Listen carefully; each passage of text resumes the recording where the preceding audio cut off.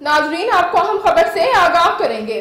Chairman people's party Bilawal Bhutto का कहना है कि इमरान खान ने जो कुछ डिक्लेयर किया, वो सब गलत है। उन्होंने एमएनएसटी स्कीम से फ़ायदा उठाया। जब इलेक्शन लड़ूँगा तो अपने असास से डिक्लेयर करूँगा।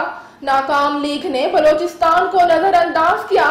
बिलावल भुट्टो ने प्रेस कॉन्फ्रेंस से खिताब करते हुए कहा अवाम सोच रहे हैं बच्चों को कैसे महफूज रखें?